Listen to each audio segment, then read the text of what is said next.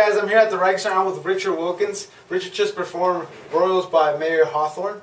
Tell us a little bit about your performance, Richard. Um, so the original song was done by Lorde, and she pretty much put out a really popular song. It's pretty well, pretty well written song, and um, I saw a video where Mayer Hawthorne did a cover of it, and he made it a lot more soulful, funky, yeah. jazz added something to that and I immediately wanted to do it. Yeah. So that was basically Richard Proof. You Yeah. know, you wanted to do it. You know, Exactly. and uh, but who helped you along the way with this song? Um, big help was Chloe. Uh, we ran the song so many times, and then uh, uh, Bennett also on the piano. So as soon as I always go to those two, pretty much the first time Yeah. I hear something that I like, it's pretty cool.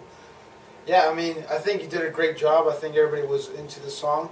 Do you have any other songs in mind that you want to perform in the future? Um, there's uh, another Mayer Hawthorne song we're thinking Okay. of, and then um, there's a pretty pretty mellow song called by a guy named Mali Music, who is Yeah. really gonna be gonna be a pretty good performance. and I feel from what you're telling me, you're really you're a big Mayer Hawthorne fan. I am, yes. And why is that?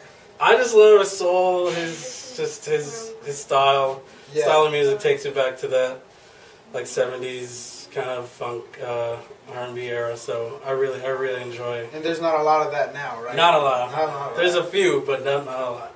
Well, it's great what you're doing here at the Riekes Center, helping kids uh, accomplish their goals and doing photography, helping out at the front desk, and now also inspiring people to keep uh, playing here and learning how, how to play instruments here at the Riekes Center. And uh, thank you again, Richard. Thank you.